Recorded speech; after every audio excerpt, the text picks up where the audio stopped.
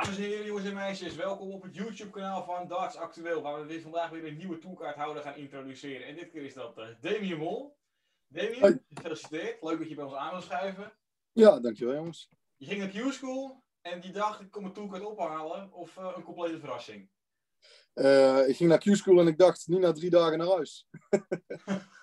dat was mijn enige gedachte in de auto. Want we reizen met z'n drie. Ik denk, oh, wat zou het een partij zuur zijn als ik als enige nou die drie dagen niet haal en dat ik daar de rest moet blijven kijken bij die gasten.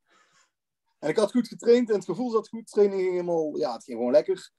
En eh, pas echt na de eerste dag, de zondag, dat ik eh, gelijk de halve finale haalde, dacht ik zo, die kan misschien wel eens wat inzitten. Ja, en toen moest je twee dagen rusten. Hoe ben je daarmee omgegaan? Dat heb ik eh, best prima gedaan eigenlijk. Ik heb lekker twee dagen gewoon uitgeslapen. Of in ieder geval één dag uitgeslapen. En één dag ben ik met mijn vriend eh, en kamergenoot Wesley Vertrijp mee wist te kijken. Uh, Smiddags een aantal uurtjes getraind. Eh, de tweede dag ook weer lekker uitgeslapen, goed ontbeten. Weer een aantal uurtjes getraind. En dat viel ook goed. Dus het gevoel zat nog steeds goed. Ja, en toen, kwam het, eh, ja, toen begon het echt Q-School. Ja, echt de Q-School begon. Boom, halve finale tegen Justitia eraf, 6-3. Ja. Wat, wat dacht je toen? Er zit hier echt wat in. Ja, ik dacht eigenlijk die dag al. Ik stond zo lekker te gooien op een gegeven moment. En alles wat een beetje mee kon zitten, ging ook naar mijn kant. Ik dacht echt van zo, als ik het nu in de eerste dag al gelijk regulier, ja, dan ja, dat zou echt ongekend zijn. Nou, dan ga je halve finale eraf, dan natuurlijk ben je tevreden. De eerste dag halve finale zou je op voorhand gelijk vertekenen. Uh, ja, dan weet je dat er drie moeilijke dagen aan gaan komen. Tweede dag, meteen 6-5 eraf. Derde Ja. dag, tweede ronde, 6-5 eraf tegen Telmekes. Hoe ben je die dag naar je hotelkamer gegaan? Vrij rustig. Ik ben in principe de tweede dag ook tweede ronde 6-5 eraf. En de derde dag ook tweede ronde 6-5 eraf.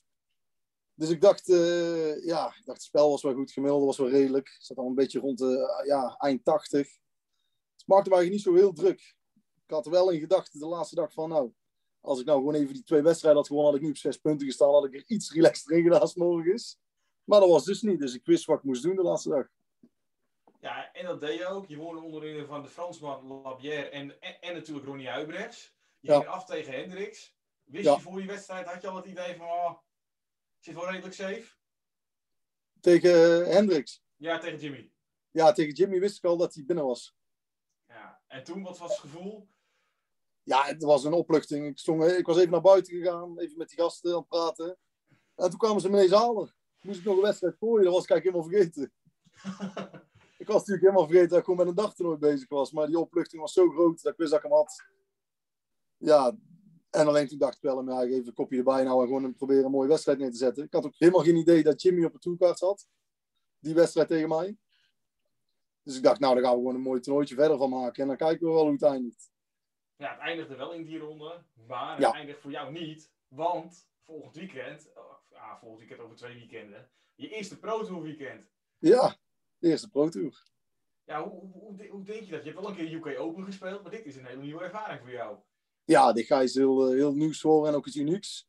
Ik heb er ook gigantisch veel zin in. Ik ga lekker veel trainen in de komende twee weken. Zorgen dat ik goed klaargestoomd ben. Ik heb al aan allerlei spelers wat informatie gevraagd van hoe wat kan ik het beste doen. En eh, reizen en dit en dat.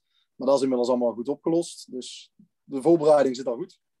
Voorbereiding zit goed. Hoe ga je het combineren met je werk? Je werkt natuurlijk nu nog, eh, je werkte al de hele week en je hebt natuurlijk al Challenge Tour Development Tour gespeeld. Ja. Maar dit is toch wel anders. Bijna elk weekend heb je nog de Euro Tour qualifiers. Nou ja, we gaan er natuurlijk vanuit dat je er een paar mag gooien qua Euro Tours. Ja, het ga wel. je, hoe ga je dat indelen?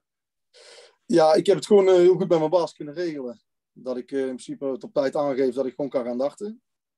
Dus daar is, op dat vlak zit ik ja, heel gunstig met mijn werk.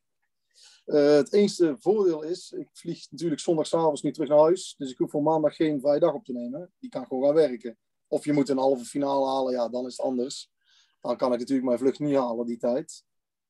Maar ja, als je dan eenmaal die halve finale haalt, dan maakt me die ene dag niet uit ook. Financieel. Nee, ja, goed. En ik, ja, dan kijk je verder. Nou, het WK halen is natuurlijk voor iedereen een doel. Ja. Wat is voor jou dit jaar voor de rest het doel? Wil je de Grand Prix halen? Wil je Euro, hoeveel Eurotours wil je halen? Eh Play Finals. Je hebt nog een World Series of Finals in Amsterdam. Voor eigen volk. Net als de Ja. Eurotour Zwolle. Wat, wat, wat, wat verwacht je er een beetje van? Waar kijk je naar uit? Wat zijn je, ja, je mini-doeletjes? ja, die heb ik gewoon helemaal niet. Ik ga lekker eh vrij uit gooien. hopen zo, ja, zo goed mogelijk spel neer te zetten. En wat er komt, ja, dat komt. En wat er niet komt, helaas. Maar we hebben er mijn best voor gedaan. Ga maar geen druk op leggen van, nou, ik moet er vier van dit. Ik wil er twee van dat. Want ik denk dat ik daar alleen maar mee ja, de put in ga helpen.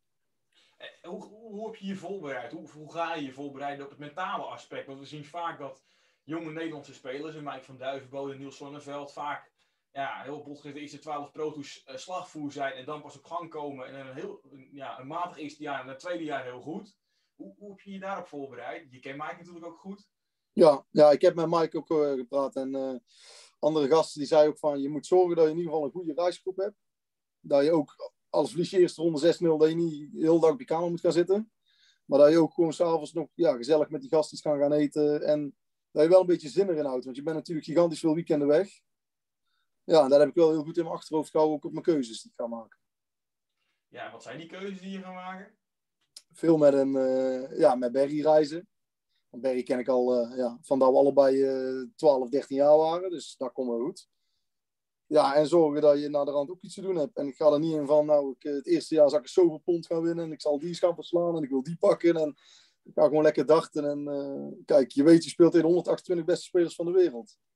Er zijn, wel, er zijn natuurlijk mindere, maar er zijn ook hele goede. Daar kun je niet zomaar van winnen. Dan moet je echt je aanspel spelen. En dan misschien kom je nog net tekort. Dus ik ga er gewoon het uh, beste van maken die komende twee jaar. En dan zien we wel wat uh, schipstrand. Nou, we hopen dat je een mooie, een mooie twee jaar tegemoet gaat. En hopelijk langer. En ja, we gaan uit dat we jou en Alexander Appellos gaan zien natuurlijk in december. Damien, Daar gaan bedankt. we wel voor. Wat zeg je? Damien, bedankt. Ja, dan zien jullie van precies hetzelfde. Ja, geen probleem. Vond je het nou een leuke video? Doe even een duimpje omhoog hier beneden. Abonneer je op het YouTube kanaal voor Darts Actueel voor nog meer toffe content. En dan zien we jullie bij de volgende video.